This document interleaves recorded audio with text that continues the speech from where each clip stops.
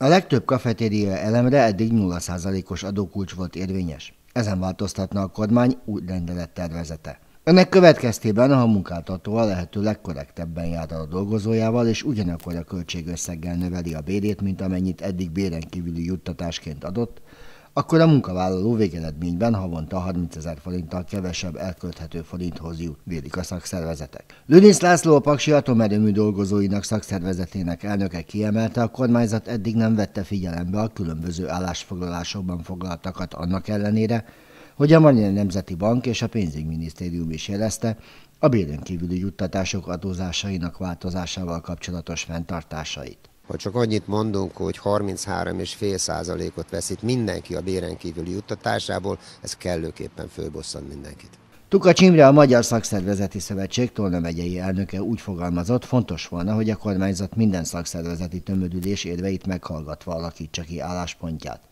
Megerősítette, jelentős bérkieséshez vezet, ha a jelenlegi tervezet lép életbe. Azt szeretnénk elérni, hogy a kormány ebben az esetben a 2019-es már elfogadott adótörvényben foglalt kafetéria változásokból táncoljon vissza, illetve tárgyaljon, hogy a legfontosabb elemek megmaradjon a kedvező adózásnak.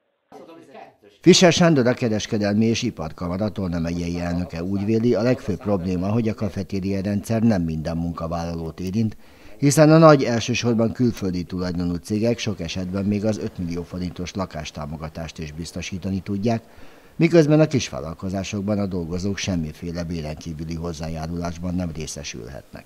A megoldás szerintem az volna, hogy mind a munkaadók, mind a munkavállalók járjanak jól, az adós járulék terheket ezben a kafetériában nem emelni, hanem megmaradni, és elérni azt, hogy valójában minden dolgozó valamilyen mértékű kafetériában részesüljön, mert azért láthatóan ez olyan juttatás, amelyben kevesebb az adó és a járulék teher, és hát a vállalkozók szívesen adnak bért, meg egyéb juttatásokat is, ha az adó és a járulék teher csökkenne.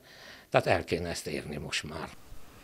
A szakszervezetek tüntetést szerveznek a kafetéria rendszer újragondolása érdekében.